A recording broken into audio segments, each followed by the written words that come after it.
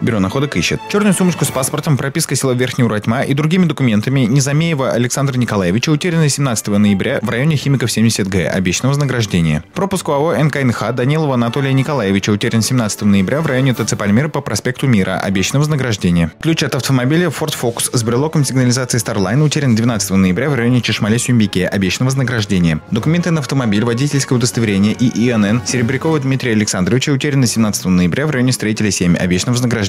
Сотовый телефон Nokia Lumia 820 желтого цвета в черном чехле утерян 17 ноября по спортивной 13 или в такси. Обещано вознаграждение. Красный портмоне с пропуском ОАО НКНХ и банковскими картами Шмелевой Марии Евгеньевны утеряно 18 ноября в казанских аптеках Пашинников 65 или в ТЦ Магнит по Вахитова 2. Обещано вознаграждение. Бюро находок располагается по адресу Химиков 64А, телефон 42 33 33. Мы ждем вас по будням.